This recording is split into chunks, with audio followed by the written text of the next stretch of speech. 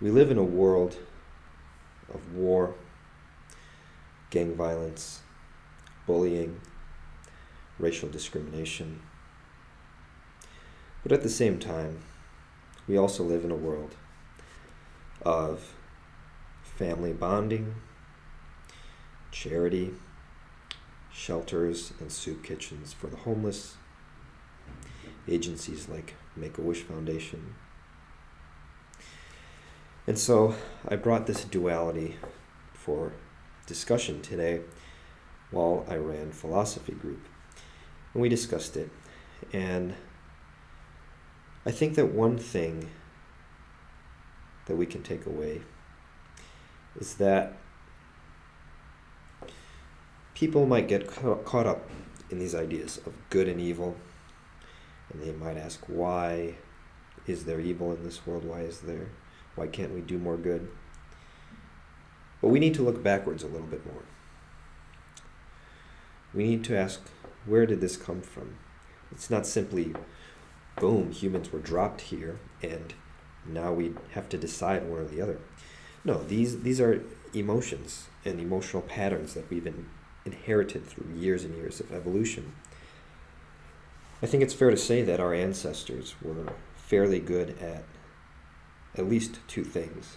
One is defending against attacks, competing when their lives were on the line, being ruthless, surviving, right, under threat, but then also developing bonds with family members, friends, especially close genetic relatives like family, but but friends as well, other tribe members.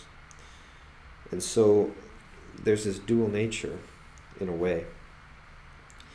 I mean, if you look at nature videos, you can see like a lioness go on attack and, you know, kill a gazelle, like in the neck, like ferociously, like with almost like with zero empathy. And then, two minutes later, go back to her lion cubs and lick them and care for them and, and show them love, I guess you could say. So, so you can see in the animal kingdom there's this dynamic also.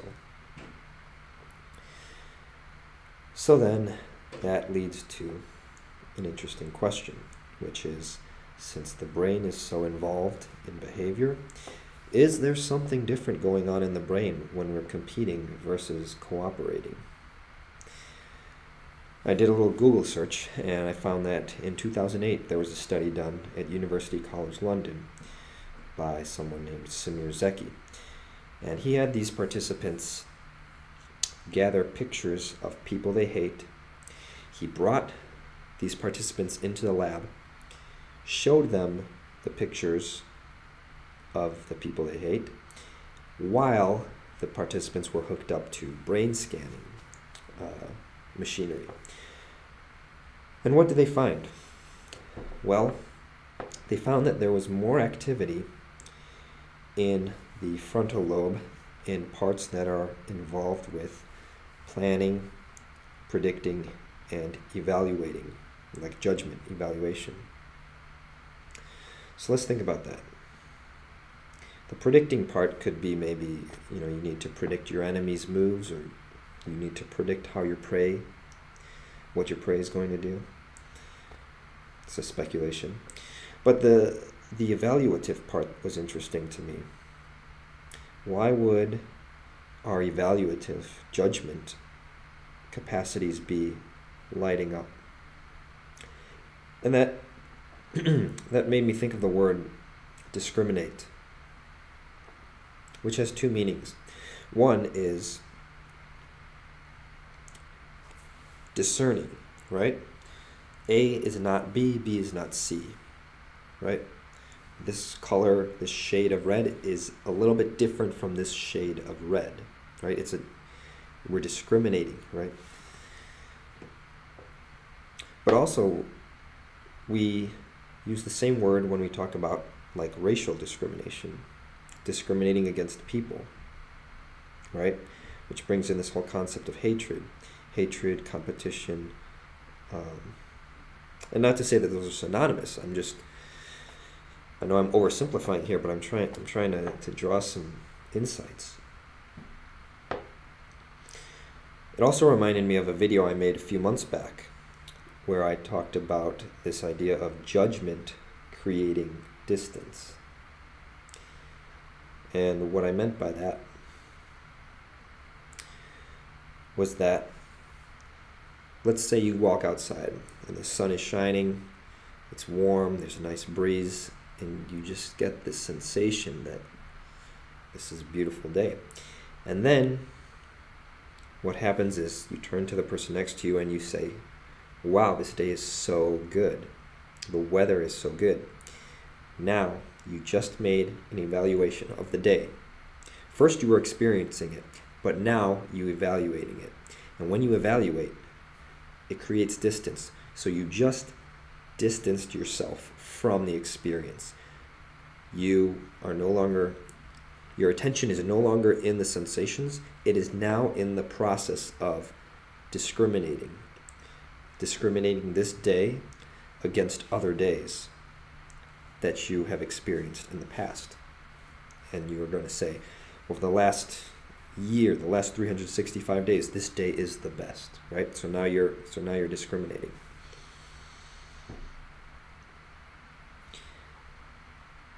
And so we got to ask if this is what's going on in our mind, are there times when our circumstances bring about this, this specific tendency? Let's take a look at rush hour traffic. What happens in rush hour traffic, I think, is people's vibrations have a uh, tendency to divert towards ruthless competition, right? And why is this? It's because of scarcity. There's a scarcity of road space. And so people might be less likely to let others in, or if they do, they really don't want to. um, but the point is scarcity, right? Look at what causes a lot of wars on this planet. We fight wars over resources like oil because it's scarce, right? Gangs fight over territory which is scarce. And interestingly, when I worked in Chicago uh, with the uh, the kids who had conduct disorder, which means they engaged in behaviors that appeared to have no empathy, like cruelty to animals.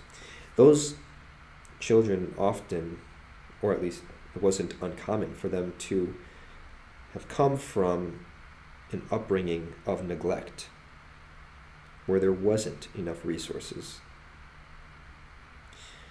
So, it's not definitive proof, but it's it's definitely evidence suggesting that maybe there's this link between scarcity and competition. I'm reminded of uh, this time I was in Costa Rica, and the family that I was staying with, the grandmother said, uh, I don't know why all these guys, these soccer players, keep fighting over the soccer ball. They should just give a soccer ball to every player so that they don't fight anymore. but um, if you think about it, team sports are a perfect example of the dual human nature in action, right? Because you have, on the one hand, a team that's banded together, cooperating, passing to each other, while at the same time keeping the ball away from the other team, encroaching on their territory, and then scoring on the other team, right?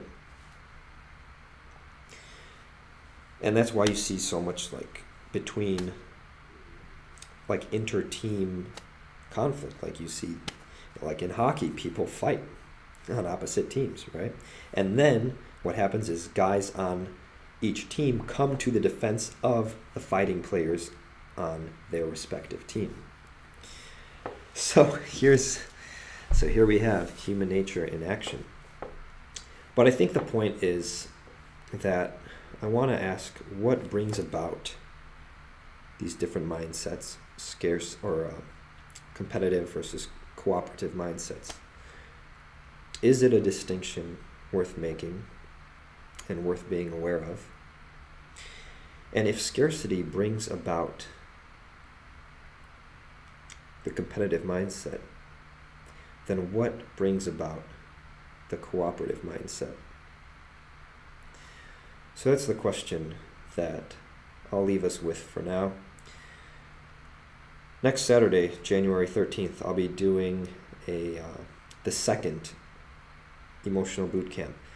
It's basically a uh, personal development workshop, a one-hour um, sort of a lecture, but it's it's pretty interactive. I'll ask questions, uh, open-ended, to have people think about them as I talk, and it's very very powerful. The, during the first one, my audience started taking notes partway through because the information was so solid. And this information comes from hours and hours of reading, study, and through seminars that I attend and pay for myself. So the emotional boot camp will be $20 in person. The recording will be available on my website afterwards. So if you're interested, just go visit existencefirst.com. And uh, if you want to come in person, you can um, also visit the website or message me through Instagram. Robert exists on Instagram. And uh, yeah, I hope you hope to uh, see you there. It will be very powerful. So uh, until then, just remember to uh, put your existence first.